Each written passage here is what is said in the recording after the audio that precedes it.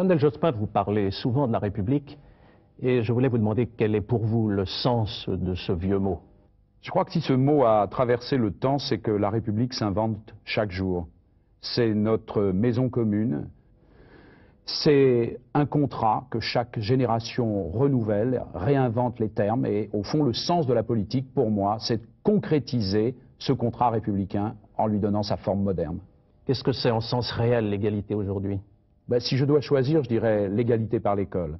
C'est l'école de la République qui prend l'enfant tel qu'il est, dans la diversité de son origine, qui permet à chacun de s'élever vers les plus hautes responsabilités, qui brasse et renouvelle les élites. Donc toute attaque contre l'école publique est finalement une menace contre la République. Quel est le sens du mot fraternité aujourd'hui chez nous? C'est vrai que les périodes de chômage ne sont pas propices à la fraternité. Il faut d'abord refuser l'inacceptable. Je pense à ce crime raciste contre euh, cet étranger marocain.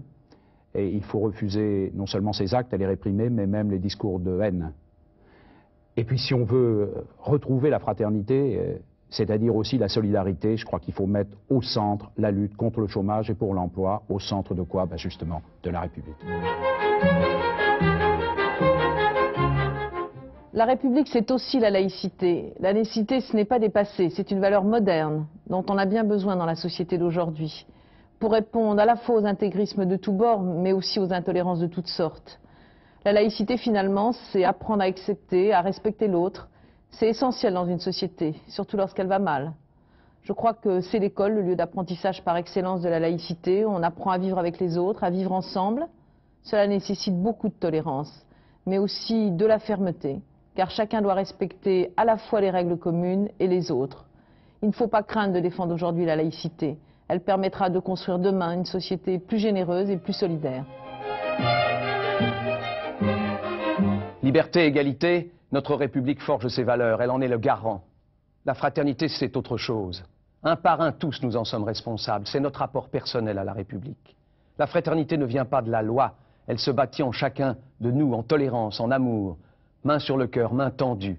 Ici d'abord, avec nos prochains, les chômeurs, les exclus, les solitaires, les sans-logis, les jeunes, tous les jeunes. Alors bien sûr, des logements, du travail.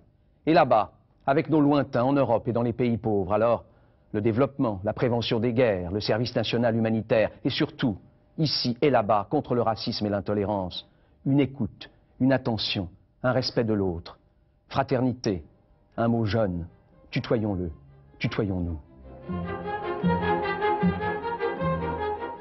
Moi, il faut redonner un sens à la gauche et aux valeurs de la République. Il faut rompre avec les discours gestionnaires qui considèrent la politique comme la résolution technique des problèmes. La politique, c'est d'abord vouloir réaliser des exigences éthiques. Par exemple, défendre un enseignement pour tous, laïque, qui ne sacrifie pas la culture générale à la spécialisation et qui permette à chaque enfant de devenir un citoyen lutter pour l'égalité des chances, que l'on soit homme ou femme, issu d'un milieu aisé ou défavorisé. C'est cet attachement profondément républicain de Lionel Jospin à la justice, au bien commun. C'est aussi la rigueur intellectuelle et morale de l'homme qui me pousse à le soutenir aujourd'hui.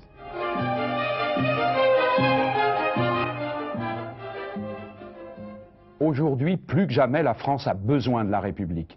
J'affirmerai les valeurs qui constituent notre société, l'égalité des chances, l'égalité des femmes et des hommes, les libertés, la laïcité, l'intégration, la sécurité, la solidarité je serai le garant d'un État impartial, attentif aux oubliés, défenseur des plus fragiles, un État au service de l'intérêt général. Je défendrai la vie publique contre toutes les atteintes, à commencer par celle de la corruption.